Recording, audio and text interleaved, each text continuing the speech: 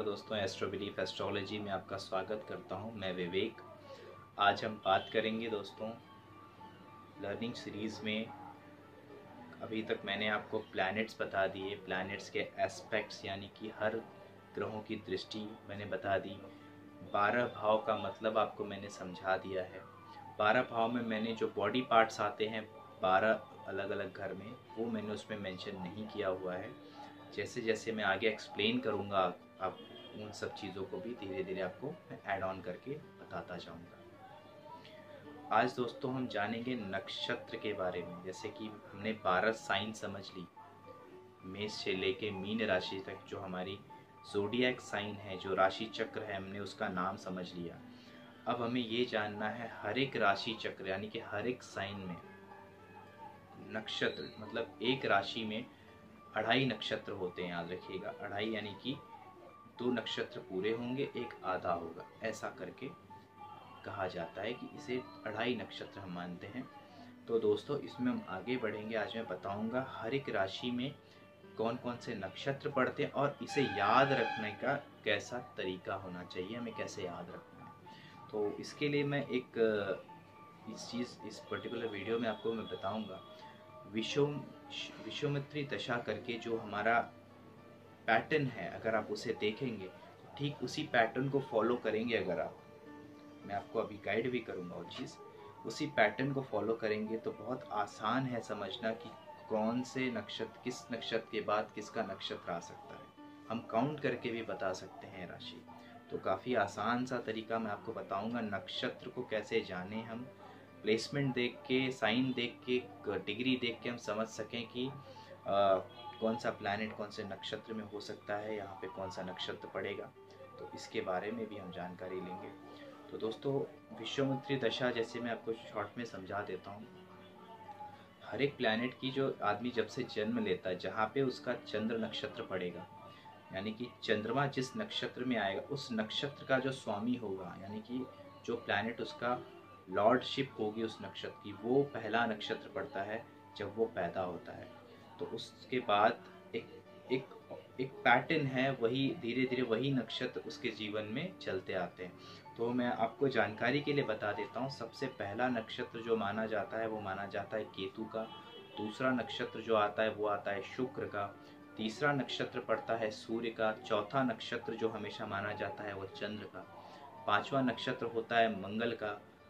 और उसी तरह से छठवा छठी दशा बोल सकते हैं आप छठवा छठवा नक्षत्र जो आप मैं सम, जैसे मैं बता रहा हूँ आपको इसको आप दशा पकड़ के चलिए। यानी कि छठवीं दशा आप देखोगे मंगल के बाद तो राहु होगी। राहु के बाद जो दशा आएगी वो होगी गुरु की। गुरु के बाद जो दशा आएगी वो होगी शनि की। शनि की बाद जो दशा आएगी वो होगी बुद्ध की। तो ये याद रखना है। सबसे पहली दशा मैं फिर से बता देता हूँ केतु। दूसरी होगी शुक्र तीसरी होगी सूर्य चौथी होगा चंद्रमा पांचवा होगा मंगल। मंगल के बाद आएगा छठवा राहु, सातवां जो होगा वो होगा बृहस्पति, आठवां जो होगा शनि, नौवा जो होगा वो बुध। तो ये ये विश्वमित्री दशा 120 साल का पूरा आपका एक दशा पीरियड होती है, जिस, जो हम देख सकते हैं। चार्ट में हम एस्ट्रोलॉजी में चेक करते हैं। तो अगर ये जो मैंने लाइन बताई, आपने लाइन दिमाग में रख ली हो तो आपको ये नक्षत्र समझने में और याद रखने में दोस्तों आसानी होगी। तो चलिए दोस्तों, बढ़ते हैं सीरीज़ की तरफ़, देखते हैं। थैंक यू सो मच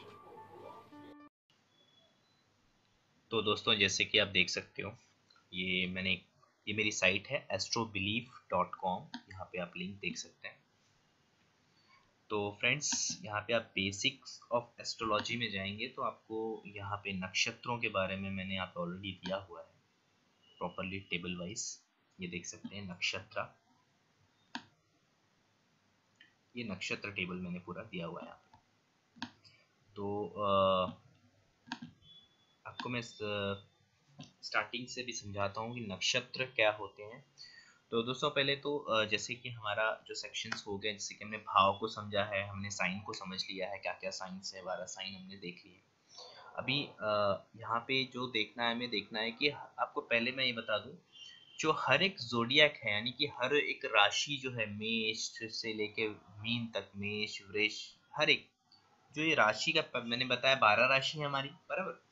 तो बारह राशि जो है, अब याद रखिए, हर एक राशि जो है, वो तीस डिग्री की है, याद रखना, थर्टी डिग्री, यानी कि तीस डिग्री की एक राशि आप समझ लीजिए तो यानी कि एरीज तीस डिग्री का, टॉरस तीस डिग्री का, जमिनाई तीस डिग्री का कैंसर ऐसे करेंगे आप हर एक राशि जो है अपने आप में तीस डिग्री की है। इसके लिए मैंने एक, एक यहाँ पे पिक्चर भी आपके लिए रेडी रखी है देखिए।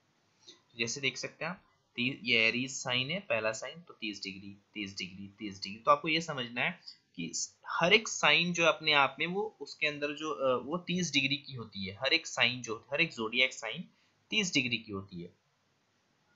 अगर आप ये पूरा कैलकुलेट करेंगे 12 साइन का तो 360 डिग्री पड़े। यानी कि हमारे ऊपर का जो गोल यानी कि आकाश में जो चक्र, राशि चक्र हम जिसको बोलते हैं 30 360 डिग्री का एक चक्र बन जाएगा। उसको हम जिस राशि चक्र बोलते हैं इसलिए।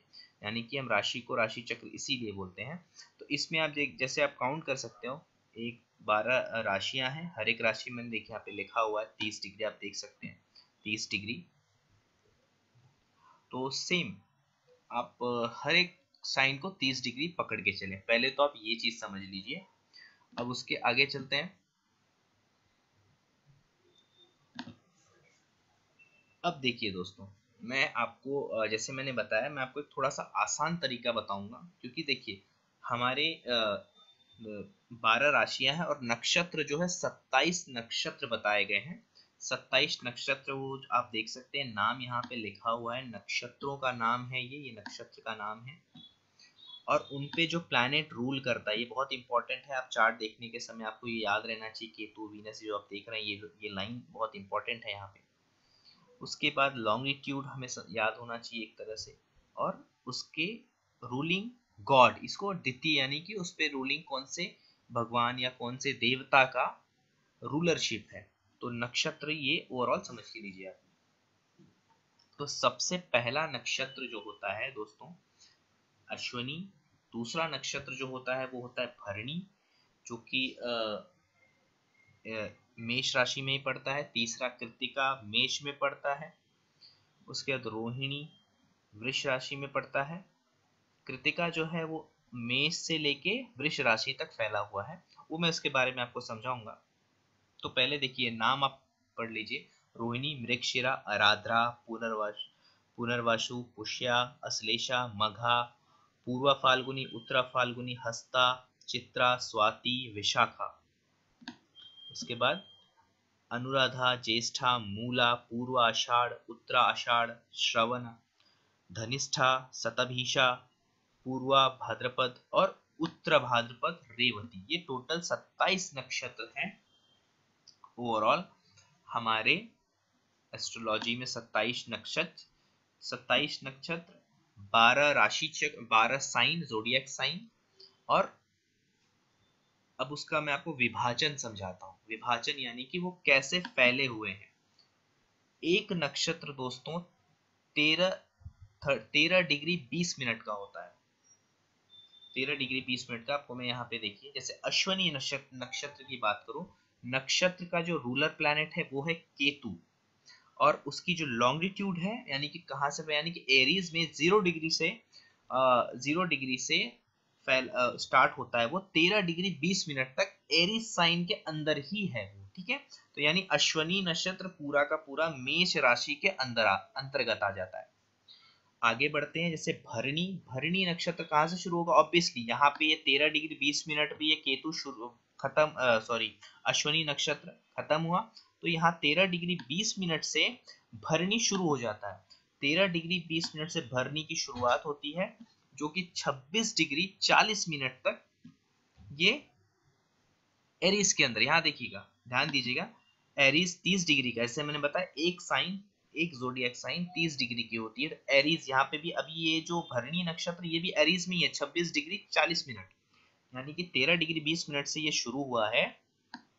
और यहाँ 26 डिग्री 40 मिनट तक ये रन कर रहा है। यानी कि अभी भी एरीज के अंदर ऑलमोस्ट दो दो डिग्री तीन डिग्री के आसपास जगह बची तो वो जगह किसके पास है? कृतिका नक्षत्र के पास। यानी कि कृतिका नक्षत्र, जहाँ पे ये नक्षत्र, भरणी नक्षत्र जहाँ खत्म होता है 26 डिग्री 40 मिनट पे, वहीं से कृतिका नक्षत्र जो है, जिसके लॉर्ड है सन, सूर्य उसके रूलर है, रूलिंग प्लैनेट है, और उसका वो शुरू होता है 26 डिग्री एरीज से एरीज 40 मिनट, जहाँ से भरनी खत्म, वहाँ से कृतिका शुरू हो जाती है 26 डिग्री 40 मिनट से लेके 10 डिग्री टॉरस, यानी कि आप समझ लीजिए ये टॉरस साइन में 10 डिग्री तक फैला हुआ है।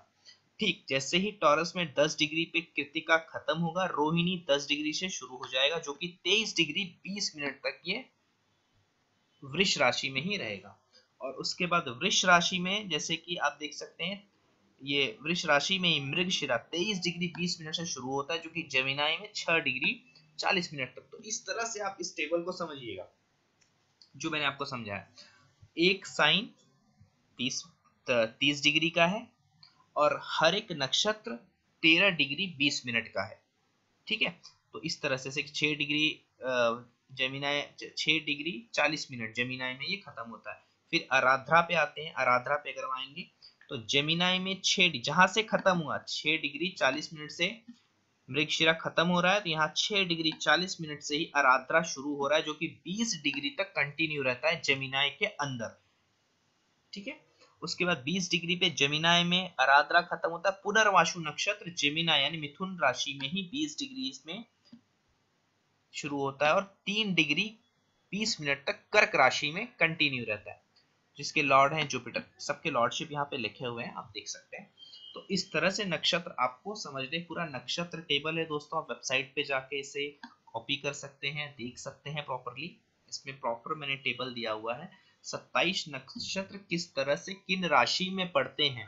जैसे अश्वनी मेष राशि में पड़ेगा, भरणी भी मेष राशि में ही पड़ेगा। कृतिका देखिए, मेष में शुरू ज़रूर होता है, लेकिन उसका जो अंत है वो टॉरस में होता है।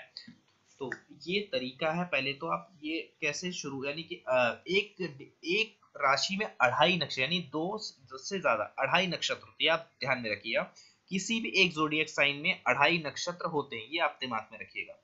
तो इससे आसानी हो यानी कि ऑलमोस्ट तीन नक्षत्र, यानी अढ़ाई नक्षत्र होते हैं, तीसरा नक्षत्र कंप्लीट नहीं होता कभी भी। अब आगे बढ़ते हैं। अब कैसे इसको आसान तरह भी सत्ताईस नक्षत्र है, अभी इसको ध्यान में रखना थोड़ा सा मुश्किल हो जाता है।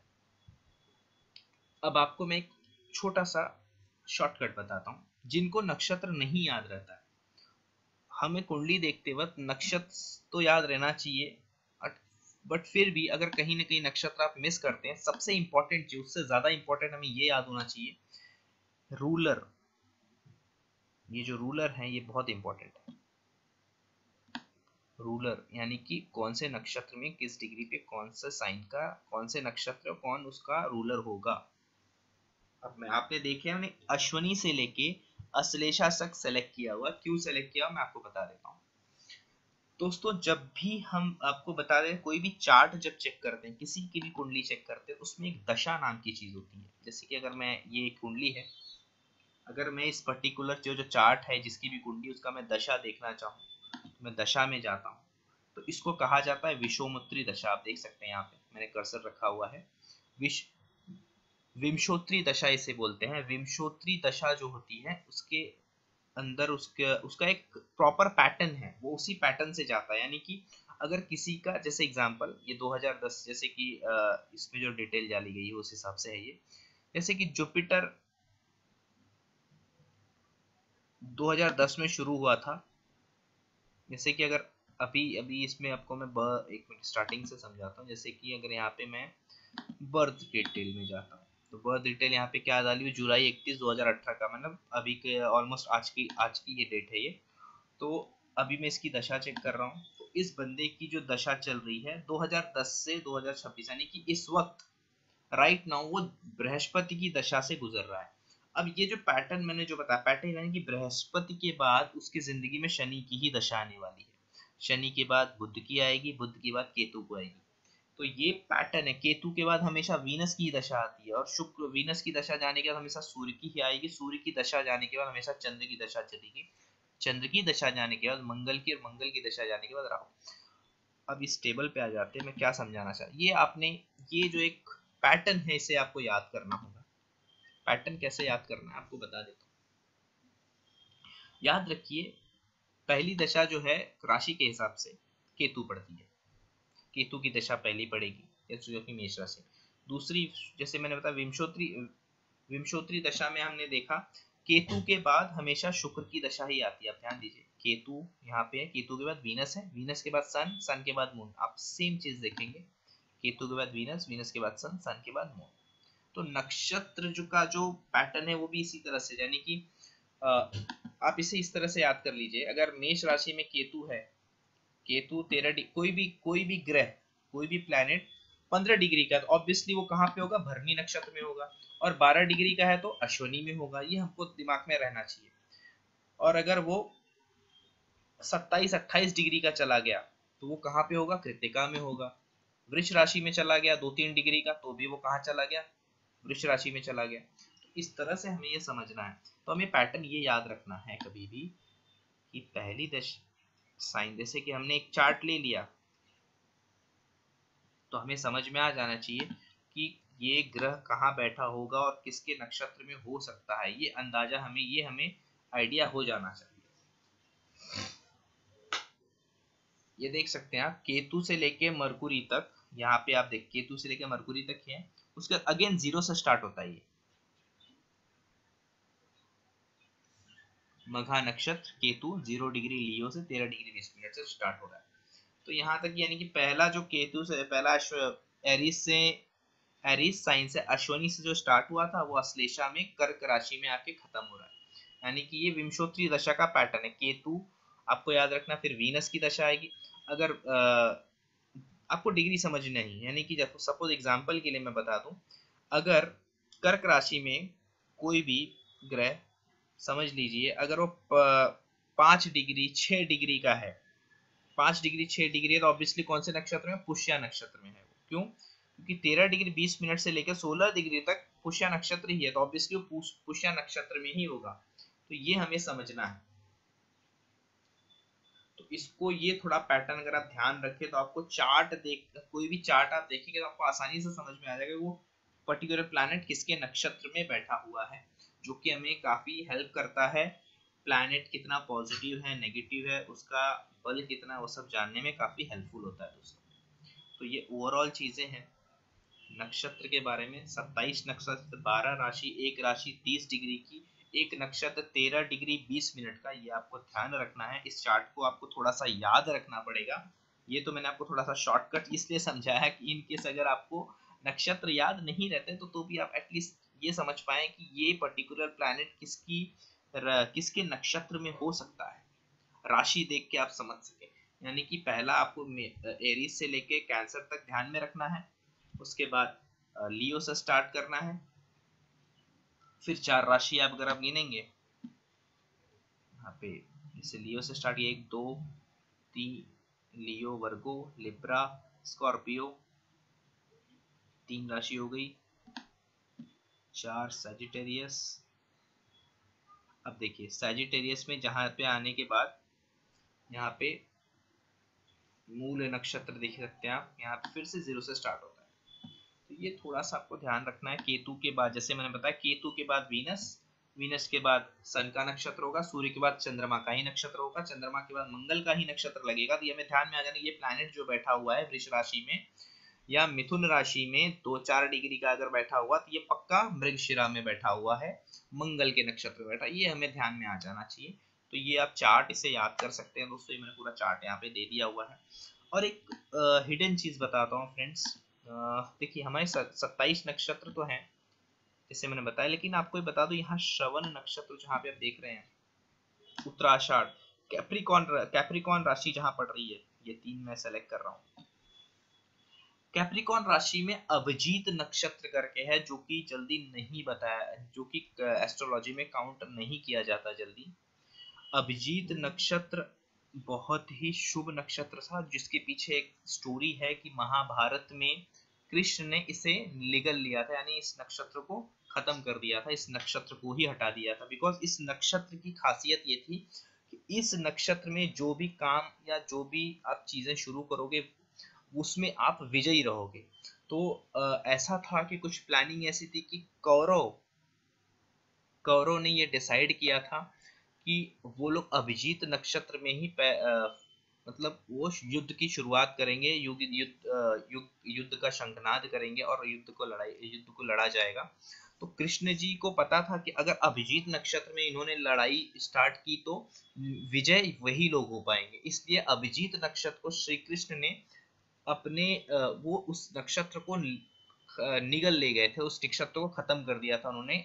इसलिए ऐसे देखा जाए तो ओवरऑल 28 नक्षत्र हो जाते हैं एस्ट्रोलॉजी में बट हम जो कंसीडर करते हैं, वो कंसीडर करते हैं 27 नक्षत्र, जो कि अश्वनी नक्षत्र से से स्टार्ट हो गए, रेवती नक्षत्र, यानी कि 27 नक्षत्र जो मैंने बताया। तो इस चार्ट को आप कॉपी कर सकते हैं, ध्यान से देख सकते हैं। साइट का नाम कॉम मेरे। तो दोस्तों, अभी के लिए इतना ही। मिलते हैं नेक्स्ट वीडियो में। Thank you so much